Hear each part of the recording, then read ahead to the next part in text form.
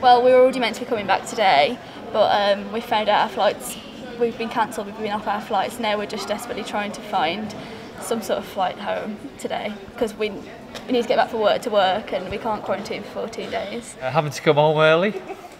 Thanks. um, well, obviously we've got to find alternative flight home, so uh, simple as that, of which we have with British Airways. So, and obviously, like anybody, wouldn't be pleased with it, would you? So, what else can you say?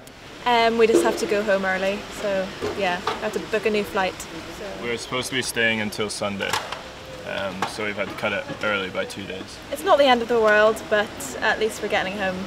I was supposed to take the plane on Sunday, and because of Boris Johnson and his wonderful ideas, I have to come back on Thursday.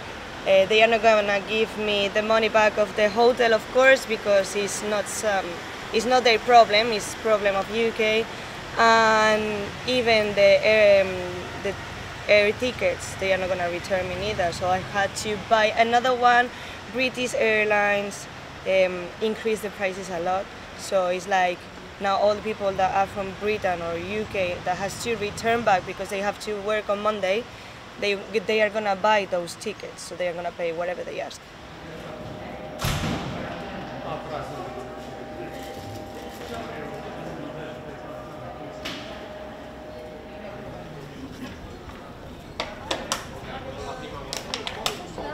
We are affected, but we're still staying. Yeah, we have to quarantine for two weeks when we get back, but we've made a decision to stay because it outweighs the quarantine. It's so much fun here.